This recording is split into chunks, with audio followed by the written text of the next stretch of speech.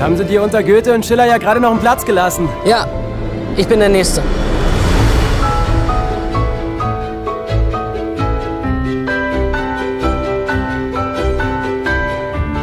Ich will, dass du zu mir gehörst. Steht in meinem Bett für die Nacht. Er will alle und alles. Der 24-jährige Bert Brecht Glotzt nicht so romantisch, ihr Wucherer! hat über Nacht das dichterische Antlitz Deutschlands verändert. Punkt. 500 Vorstellungen in Berlin. Jetzt hast du die Stadt erobert.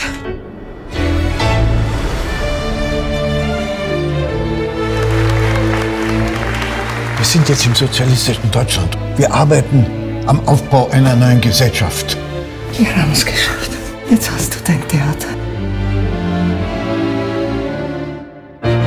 Der Mensch ist änderbar. Auch der Brecht?